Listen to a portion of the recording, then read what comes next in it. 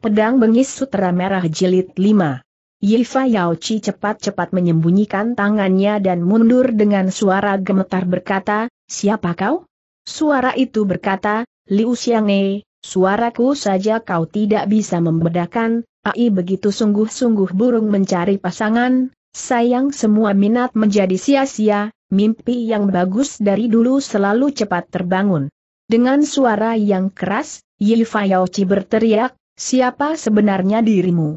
Suara itu berucap lagi, senar sudah putus apa bisa disambung lagi? Yifa Yaochi gemas sekali secepat kilat dia memburu ke tempat asalnya suara. Siapakah yang berkata itu? Pui Chie bingung juga, apa pacar lama dari siluman perempuan ini? Belum habis pikir sebuah bayangan sudah menghampiri dari samping, tidak berkata-kata dengan cepat Pui Chie dikempitnya dan dibawanya dia lari masuk ke dalam hutan, gerakannya begitu cepat dalam menembus hutan Pui Chie sampai tidak sempat mengenalinya. Sesudah sekian lama, naiklah dia ke sebuah puncak, kemudian Pui Chie diletakkan dengan pelan-pelan. Dengan teliti Pui Chie memandang kemudian berseru, saudaraku dia menjerit kegirangan. Sastrawan pengecut tersenyum-senyum berkata, sudah membuat tuaku kaget ya. Pui Chie dengan lirih bertanya, saudaraku kenal dengan Yi Fayauchi? Sastrawan pengecut dengan santai menjawab, tentara jangan bosan dibohongi, Xiao Tem memang pengecut, tapi masih mampu menggunakan sedikit taktik. Tanda petik. Pui Chie tiba-tiba merasa aneh, dirinya telah berubah rupa, robah penampilan, Suaranya juga berubah, kenapa dia bisa mengenali dirinya begitu saja sedikit pun tidak merasa janggal. Sastrawan pengecut seperti bisa membaca isi hati orang, dengan santai menjawab, Tuako merasa aneh kan, kenapa Xiao Te bisa mengenali wajah Tuako yang sebenarnya? Pui Chie tercengang, betul aku sedang bingung.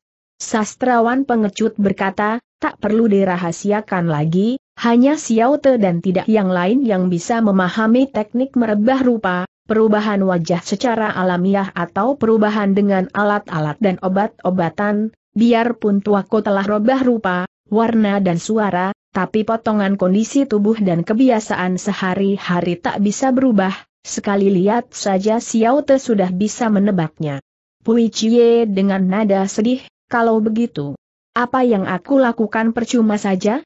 Sastrawan pengecut dengan cepat menggoyangkan tangan, tidak juga, tuako tidak perlu banyak pikiran, teknik merubah warna dan merubah dengan alat dan obat-obatan aku jauh lebih baik, bukan sombong. Sekarang ini selain Xiao Te dan Guru Xiao Te tak ada satu orang pun yang bisa mengenali tuako yang telah berubah wajah, tenang saja. Pui Chie dengan tidak terasa berucap, Siapakah gurumu sastrawan pengecut dengan nada tidak enak berkata, maaf. Xiao Te tidak bisa beritahu siapa dan apa sebutan guruku. Dalam hati Pui Chie penuh pertanyaan, tapi juga tidak enak mendesak karena dia telah menolong dirinya, dengan tersendat-sendat berkata, terima kasih atas pertolongannya. Dengan tertawarnya sastrawan pengecut berkata, tidak usah disebut lagi, ini hanya kebetulan saja, Berhenti sebentar dia berkata lagi, mendengar kata-kata siluman wanita itu, ada rahasia tentang diri Pui Chie, rahasia apa sebenarnya? Terpaksa Pui Chie menceritakan semuanya. Sastrawan pengecut menganggukkan kepala, bagus. Tuako akan lebih leluasa tampil dengan muka baru si baju ungu, Tuako di mana tempat yang terkena totokan? Biar Xiao Te. Pui Chie memang bawaannya angkuh, cepat-cepat berkata, biar aku yang mencoba melepaskan sendiri saja sambil membangunkan badan merubah menjadi posisi duduk, dengan percaya diri mau mencoba membuka totokan, tapi apa boleh dikata pernafasannya ternyata tak bisa naik, beberapa kali dia mencoba tetapi gagal, akhirnya dia mengeluh. Bayangan mencurigakan. Sastrawan pengecut sekali melihat sudah mengerti Pui Chie tidak mampu membuka sendiri totokannya, dia duduk di dekatnya dan berkata, biar Xiao teman coba. Pui Chie tak bisa berkata apa-apa, dibiarkan sastrawan pengecut meraba semua nadi yang terkena totokan. Sesudah sekian lama sastrawan pengecut baru berhenti dan berkata, aneh sekali Care, totokan ini sepertinya dia juga tidak sanggup membukanya. Hati Pui Chie menciut, dalam keadaan begini tidak ada tempat untuk dimintai tolong lagi, untuk bergerak saja menjadi masalah, dan lagi aliran darah jika ditotok terlalu lama akan mengakibatkan kerusakan urat nadi dan bisa menjadi cacat seumur hidup. Masalah yang terjadi sangat di luar dugaan, untuk membuat perhitungan dengan Fei Chen sekarang hanya menjadi sebuah khayalan saja. Sastrawan pengecut berdiri, menggosok tangan menggaruk pipi. Tiba-tiba memekik, hanya jalan ini yang bisa ditempuh. Pui Cie kelihatan bermuram durja, dia berkata, jalan apa? Sastrawan pengecut berkata, kalau keluar gunung minta pertolongan tak mungkin dan terlalu jauh, Xiao Te tahu ada seorang ajaib di dunia persilatan yang sedang mencari obat-obatan dalam gunung ini, kalau nasib baik, Tuako bisa bertemu dengannya masalah totokan akan segera teratasi, Xiao Te segera akan mencarinya besok tengah hari pasti kembali, kalau tidak menemukan, kita cari jalan lain. Pui Chie sempat terharu akan kebaikan sastrawan pengecut, menurut adatnya, dia tidak mau menerima kebaikan orang lain, tapi sekarang mau tidak mau mendapat pelajaran pahit bagi orang angkuh, sangat menyakitkan, dia menarik nafas, dengan terputus-putus dia berkata, kalau begitu, sangat merepotkan saudaraku. Dengan sungguh-sungguh sastrawan pengecut berkata, jangan begitu, bisa berteman dengan tuako sungguh suatu kebanggaan.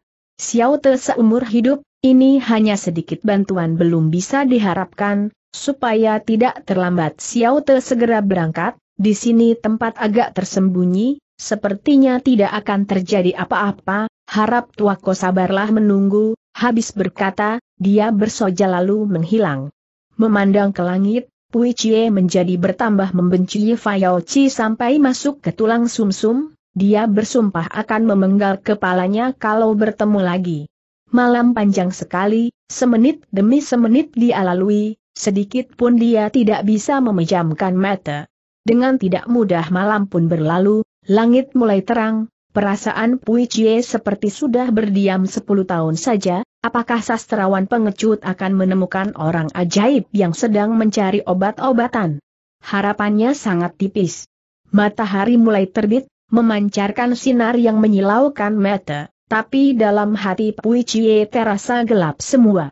Tiba-tiba, satu pemikiran aneh muncul di kepalanya, dia teringat kepada setengah buku ilmu campuran buku pusaka yang tidak ada taranya pemberian almarhum Pao Senin Chong, pembantu tua Raja Lima Pegunungan, buku itu berisi bermacam-macam ilmu campuran, siapa tahu di dalamnya ada ilmu mengurai mengenai totokan. Dia merasa sedikit bersemangat, cepat-cepat mengeluarkan setengah buku pusaka itu dari balik bajunya, tiap halaman dia baca dengan teliti, mencari bagian mengenai ilmu totokan, dia girang luar biasa, ternyata di dalamnya terdapat catatan pelajaran menolong diri sendiri sewaktu pernafasan tak bisa berkumpul, huruf per huruf dia baca terus-menerus, segera dia pun merasakan munculnya keanehan. Dia menghafal dengan seksama semua huruf, kata-katanya dia renungkan dan dia coba praktekkan. Setengah jam kemudian pernafasannya mulai teratur, dia terus mengikuti rumusan ringkas mendobrak semua sumbatan-sumbatan di nadi-nadinya. Sesosok bayangan biru bergerak naik ke puncak, ternyata sastrawan pengecut yang sedang mencari tabib. Mengikutinya muncul lagi sebuah bayangan, dia adalah seorang terpelajar setengah baya. Sastrawan pengecut yang merasakannya dia membalikan badan, begitu melihat mukanya berubah karena kaget, lalu dia bertanya, apa maksudmu mengikutiku? Orang terpelajar setengah baya yang ternyata adalah sastrawan iblis dengan muka kecut menjawab, gerak-gerikmu mencurigakan, terpaksa aku mengikutimu untuk mencari tahu.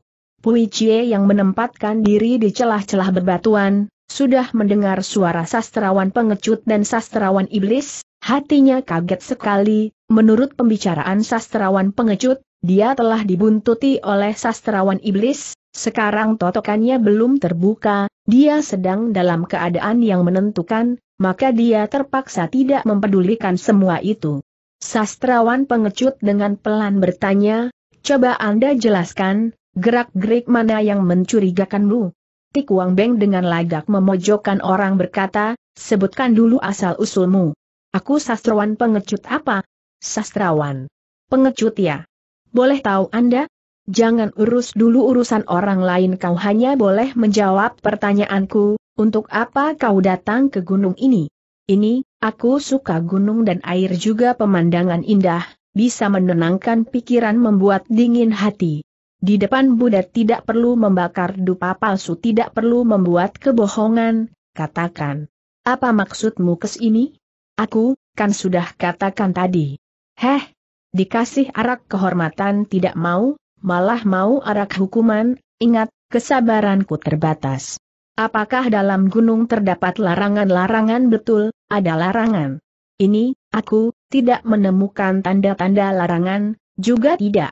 Sekarang kau tahu juga tidak terlambat, cepat terangkan semuanya, tidak boleh ada yang ketinggalan, kalau tidak, kau menyesal pun sudah terlambat. Pui Chie sekuat tenaga menyelesaikan pengobatannya, sekarang tinggal satu nadi lagi yang terakhir yang belum terpecahkan. Sastrawan pengecut dengan kaget memandang Tikuang Beng, agak gentar dia berkata, karena sedang bernafsu, tidak sadar masuk ke gunung ini untuk bermain, apakah salah? Tikuang Beng dengan ketus berkata, pegunungan ini jauh dan sepi, tidak ada pemandangan yang indah juga tidak ada peninggalan purbakala, tak usah berpura-pura, cepat jelaskan kalau tidak, siap-siaplah mempertahankan nyawamu, aku tidak banyak waktu. Pertahankan nyawaku, apa kau mau ya, aku menginginkan nyawamu. Tapi aku, tidak mau bertarung dengan siapa pun, kalau begitu kau tutup mata dan tunggu mati saja kau. Lihat pukulan dalam pikirannya sebuah pukulan sudah dia lepaskan. Sastrawan pengecut terhempas jauh, dengan menggoyangkan tangan berkata, Anda tanpa alasan yang jelas bertindak begini jauh padaku, apa tidak ada yang bisa dibicarakan lagi cepat sekali ilmu menghindarkan dirinya. Tik Wang Beng tertawa kecut, gerakan tubuhmu bagus, tapi kau takkan bisa lolos sekali terdengar suara ciang pedang sudah dicabut, melingkar, memanjang, secara ganas terus menggulung sastrawan pengecut. Sastrawan pengecut tubuhnya seperti bayangan hantu, seperti kilat sudah meluncur menjauh, wajahnya seperti yang sangat takut, sudah tentu dia berpura-pura. Pui Chie sudah bisa berdiri setelah dia berhasil menembus totokan urat nadinya yang terakhir. Tik Wang Beng marah sekali, lawannya bergerak aneh, tidak mau melawan, seperti takut, dia merasa dipermainkan, dia merubah posisi pedang dan tubuhnya, menyerang lagi sekejap saja dia sudah menusuk sebanyak 18 jurus, tapi sastrawan pengecut dengan santai saja menghindar dari kurungan pedang yang bertubi-tubi, baju birunya melambai-lambai gayanya pelan dan luas benar-benar jarang bandingannya di dunia persilatan. Pui Chie melihatnya sampai silau, melihat gayanya, dia merasa kalah, hebat benar orang ini, Sesuai dengan gelarnya yang pengecut terdesak juga tidak melawan, benar-benar orang langka di dunia persilatan. Tik Wang Beng setelah menyerang satu babak tiba-tiba melihat Pui Chie, eh. Si baju ungu segera dia menyimpan pedang sambil berseru. Sastrawan pengecut kaget sekali melihat Pui Chie sudah bisa berdiri dengan mantap, matanya berbinar, tapi dia diam saja, dia menatap Pui Chie dengan penuh pertanyaan. Pui Chie pelan-pelan mendekat, Chuan keterlaluan sekali mendesak orang sampai begini. Muka Tik Wang Beng berubah gelap terang tidak menentu, akhirnya dengan tersenyum berkata, Laute dengan sastrawan pengecut ini sejalan? Pui Chie menjawab dengan asal, ya. Kami berteman. Tik Wang Beng melihat keduanya sekali lagi berkata, kalau dia teman Laute, Aku mohon maaf habis berkata dia menggenggam kedua tangannya sambil digoyang-goyang. Pui Chie secara dingin berkata, sudahlah. Tik Wang Beng mengangkat alisnya, lalu berkata, masalah yang pernah dibicarakan dengan Lau Te apakah sudah dipikirkan? Pui Chie dengan gemas berpikir sebentar dan menjawab, sudah aku pikirkan, kapan aku akan diperkenalkan? Muka Tik Wang Beng mendadak berubah menjadi berseri-seri, setelah berpikir sebentar lalu berkata, kalau begitu aku akan segera mengaturnya, selekasnya Lau Te memberi jawaban, kalau nanti tidak bisa bertemu di pegunungan ini lagi harap Lau Te menuju ke Chao yang saja. Pui Chie mengangguk, ya, begitu pun boleh. Sinar gembira terlihat di wajah Tikuang Beng, aku akan secepat mungkin memperkenalkan Lau Te kepada rekan yang lain, harap sabar habis berkata, matanya melirik sastrawan pengecut, lalu berkata, temanmu juga seorang yang hebat dan langka, kalau bisa nanti juga hadir, majikanku membutuhkan sekali orang-orang yang ahli pasti dia sangat senang menerima kalian berdua. Sekarang aku ada urusan penting, aku permisi dulu. Dia mengangkat kedua belah tangan memberi hormat, lalu memutar badannya pergi. Pui Chie tahu dia cepat-cepat mau pergi berkumpul untuk mengepung Magewe Ekiao, kelihatannya dia tidak tahu perbuatan Yi Fayao Chi tadi malam. Sastrawan pengecut berkata, Tuaku, hati-hati terjebak oleh orang yang bermargati itu, dia orang yang sangat keji. Pui Chie menyunggingkan senyuman berkata, aku tahu. Sastrawan pengecut berkata, barusan dia berkata kau mau diperkenalkan, Memang ada masalah apa? Pikiran Pui Chie berputar, ini masalah besar tidak boleh bocor, kalau bocor bisa berbahaya. Lalu dengan tidak enak dia berkata, adikku, sebenarnya ini tidak boleh dirahasiakan padamu, tapi karena ini masalah besar yang berhubungan dengan urusan pribadiku, aku takut di luar dinding ada kuping mendengar, nanti saja kalau sudah beres aku akan ceritakan semuanya kepadamu. Sastrawan pengecut berseri-seri, tidak apa-apa, aku hanya sambilan saja bertanya, eh, tuako bagaimana kau bisa membuka totokan itu? Ini juga masalah lain yang sukar dijawab juga, dia agak ragu. Akhirnya dengan asal-asalan dia menjawab, kebetulan suhuku pernah memberi aku pelajaran membuka totokan, tak disangka ternyata sangat manjur. Sastrawan pengecut dengan lantang berkata, Bagus sekali, aku tidak berhasil bertemu tabib ajaib itu, sepanjang perjalanan terus berpikir harus berbuat bagaimana, sekarang hatiku sudah pelong jadinya. Pui Chie merasa tidak enak hatinya, orang begitu tulus membantu dia sendiri membalasnya dengan care begini, tapi apa boleh buat, keadaan memaksa dia harus begitu, sesudah berdiam sejenak dia berkata, kakakku, Aku masih ada urusan semoga di kemudian hari ada kesempatan kita minum arak sambil ngobrol, tidak masalah kan? Sastrawan pengecut dengan lapang dada, tidak berpikir panjang lagi menjawab, kalau ada urusan silakan jalan duluan, Xiao Te juga ada urusan, siapa tahu kita masih akan bertemu lagi dalam gunung ini, di sana nanti kita bisa ngobrol lagi. Akhirnya mereka berdua berpisah juga. Pui Chie ingat urusan Fei Chen, sesudah turun gunung dia langsung masuk hutan belukar, di jalan dia banyak menemukan orang-orang Shin Kiampang, tentu saja dia tidak mau membuat keributan hanya karena persoalan kecil, tidak terasa, dia sampai ke lembah tempat buaya Usien C, anak dan ibu yang sedang bertapa. Dipandang dari kejauhan banyak orang sedang bergerak, tertarik hati Pui Chie, dari samping dia memutar mendekat. Di mulut lembah depan batu besar yang menjulang, ada Ye Chi dan biksu tua Guan Chen Che, sepertinya ada komandan pasukan pengawal Shin Kiampang, tapi tidak terlihat SHN Kiampang Chu Fei Chen dan sastrawan iblis Tik Wang Beng. Sedang apakah mereka? Apakah Fei Chen telah masuk ke dalam lembah? Tik Wang Beng dari tadi mengapa belum tiba? Masih berpikir begitu, kelihatan Guan Chen Che mengangkat tangan memberi aba-aba, semua yang ada di sana menepi masing-masing mencari tempat untuk bersembunyi, dilihat gelagatnya orang-orang Shin Kiampang pasti sedang membuat suatu gerakan. Memperlihatkan kemampuan. Setelah semua orang menyibak ke samping, dengan pelan-pelan Guan Chen Che mundur juga. Kebetulan sekali Fayao Chi mundur, dan tempat dia mundur pas di tempat persembunyian Pui Chie, begitu dah melihatnya, dia langsung menjerit, karena kaget mukanya menjadi jelek sekali. Setelah bertemu dengan musuh yang luar biasa dibencinya, dengan pandangan penuh dendam Pui Chie menyorot muka Yi Fayaochi. Suara jeritan tadi mengejutkan semua orang, mereka semua segera menuju ke tempatnya Pui Chie. Guan Chen yang pertama-tama tiba, dia kaget dan memekik, si baju ungu. Yang lain juga ikut mengurung, tapi siapa pun juga tidak ada yang kenal dengan si baju ungu. Pui Chie tidak peduli orang lain, dia melototi Ye Chi dan dengan suara seram dia berkata, Liu Kounio tidak terduga olehmu bukan?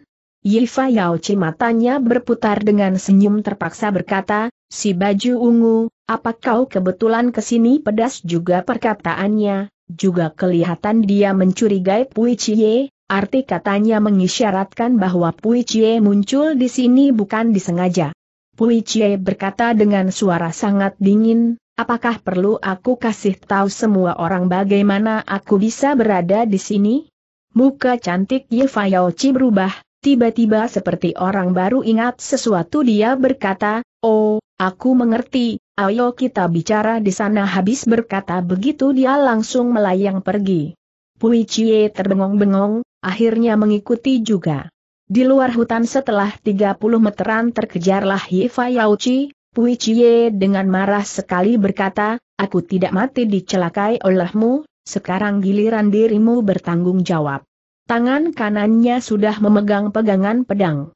Ye Yauchi masih bisa tertawa cekikikan berkata, si baju ungu, aku kan terpaksa berbuat begitu. Dengan mulut tersungging senyuman sinis Pui Chie berkata, Aku sekarang juga terpaksa membunuhmu. Si baju ungu, kau kan masih hidup. Sudahlah, sudah? Enak saja kau bicara. Kita bikin satu perjanjian yang jujur, kau pegang rahasia itu, kita, tidak saling mengancam. Pui Chie sudah tidak tahan lagi hatinya penuh dengan nafsu membunuh, pakaiannya segera akan dicabut keluar dari sarungnya. Dengan menggigit bibir dia berkata, Siapa yang mau berjanji denganmu? Aku hanya mau membunuh orang. Yifa Yaoci mundur dua langkah berkata, si baju ungu, kau belum tentu bisa membunuhku, andai kau bisa membunuhku kau juga takkan bisa kabur dari sini, percaya tidak? Dengan kecut Pui Cie bilang, aku tidak percaya. Yifa Yaoci gemertakan giginya katanya, kalau saja Pui Cie tidak mati, Aku ingin sekali melihat kau mati roboh di bawah pedangnya. Perkataan ini menyentuh hati Pui Chie, waktu mendesak dirinya jatuh ke jurang dia berlagak bodoh, sekarang dia seperti yang teringat selalu hati seorang wanita seperti jarum dalam lautan, susah diraba. Yifa Yaochi memandang ke mulut lembah berkata, mereka sudah bergerak. Pui Chie mendadak teringat dengan masalahnya, Orang dalam lembah buaya Usien C adalah istri almarhum suhunya, dia membawa Kutin Chen, adalah darah daging suhunya, apakah aku bisa berpangku tangan saja? Sesudah berpikir sejenak dia cepat-cepat bertanya, mau apa mereka? Yifa Yaochi berkata, membuka paksa pintu gerbang lembah dengan dinamit, kemudian masuk ke dalam menangkap orang. Pui Chie tidak berkata apa-apa dia segera membalikan badannya secepat kilat mengejar ke sana. Guan Chen Che sesudah menyulut dinamit, orangnya segera meloncat menjauh. Sebaris asap dengan cepat menjalar ke batu besar di mulut lembah. Pui Chie melayangkan dirinya tepat di tempat itu. Guan Chen Che dengan keras memekik, si baju ungu, mau apa kau? Pui Chie pura-pura tidak dengar, dia mendekat ke batu raksasa itu, dengan satu tangan membabat, batu dan tanah pun berhamburan, sumbu dinamit terputus, terlambat beberapa detik saja suasana sudah akan menjadi lain. Dalam suara pekikan, para satria yang tadinya bersembunyi sekarang mencabut pedang mendekat dan mengurung, Yi Chi juga sudah tiba di tempat itu. Pui Chie berdiri tegak dengan angkuhnya, bila pihak lawan mulai turun tangan, dia pun akan mulai membunuh.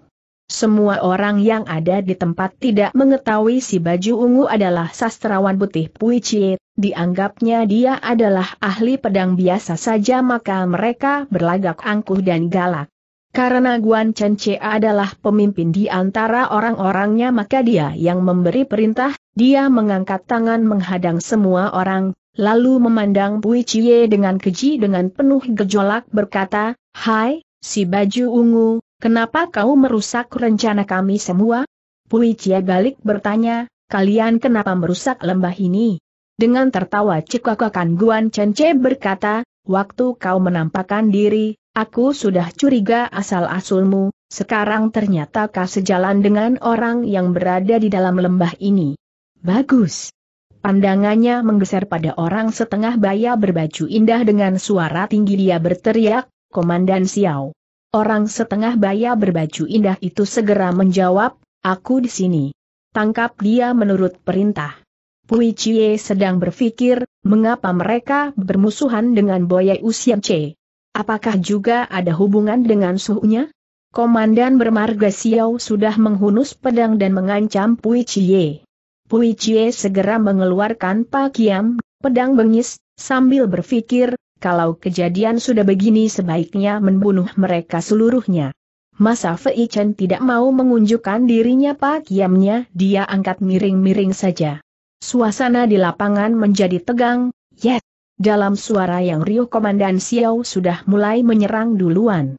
Pakiam yang berkilauan segera disabetkan hebat luar biasa, Pui Chie berpikir membunuh satu berkurang satu yang melawan, dengan sepenuh tenaga dia gunakan tenaganya, kekuatannya menakutkan, suara besi beradu memekakkan telinga dibarengi suara mengaduh, Dada sebelah kiri Komandan Xiao sudah tertusuk berdarah seperti sekuntum bunga merah. Komandan Xiao sebagai pemimpin pasukan pengawal berseragam indah ini sebenarnya ilmu silatnya amat tinggi. Tapi kali ini baru sekali bergebrak sudah terluka, berarti si baju ungu yang tidak pernah dikenal orang ini ilmunya hebat sekali, yang berada di sana semuanya terkesima. Guan Chen Che jengkel sampai alisnya berdiri, dia maju sambil membawa pedang dengan memekik dengan keras, si baju ungu, akan kubunuh dirimu. Mampuslah pedang dan suaranya berbareng menyerang, kondisinya seperti naga yang kaget. Pui Chie teringat akan peristiwa yang paling mengenaskan, ketika dia terjatuh ke dalam jurang karena dikeroyok oleh tiga pedang bergabung oleh pihak lawan, nafsu membunuhnya bertambah membara, Tangannya segera digerakkan dengan jurus mematikan menggempur tempat yang lemah. Di dalam suara besi beradu yang bertubi-tubi Guan Che sudah terdesak mundur jauh, beberapa orang pengawal yang berseragam indah di belakang mencoba membantu menyerang sambil menjerit. Pui Chie memutarkan badan sambil mainkan pedang seperti roda bersinar menggelinding tapi begitu cepat. Dua orang pengawal terjungkal sambil meraung-raung, satu orang pedang panjangnya terlepas. Yang satu lagi tunggang langgang. Semua orang terpana di tempatnya, tidak ada yang berani berbuat macam-macam lagi. Yifa Yao Chiang berdiri jauh juga tidak berani bertindak, mukanya terasa berat seperti lempengan besi. Pui Chie melangkah ke arah Guan Chen Che. Guan Chen Che tahu dia tak kuat menahan serangannya, tapi dengan kedudukannya sekarang mau tidak mau mesti menghadapinya, tak bisa mundur lagi.